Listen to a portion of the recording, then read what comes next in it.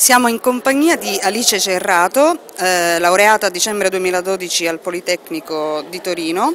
eh, quindi viene da Alba in provincia di Cuneo e volevamo chiederti come mai hai deciso di partecipare a questo workshop? Allora, eh, i motivi per cui ho deciso di partecipare sono principalmente due. Innanzitutto volevo visitare Lampedusa, cioè capire cosa sta succedendo a Lampedusa, visto che l'immagine che, che, ci viene dai media è totalmente diversa da, poi, cioè, da quello che poi mi, mi sono resa conto che, che è qua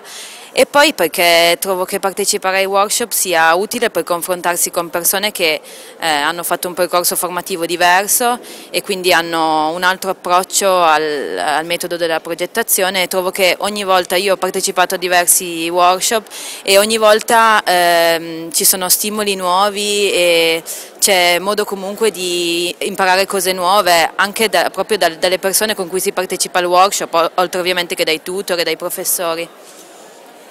Quindi eh, quali sono le tue considerazioni, la tua valutazione eh, su questa esperienza?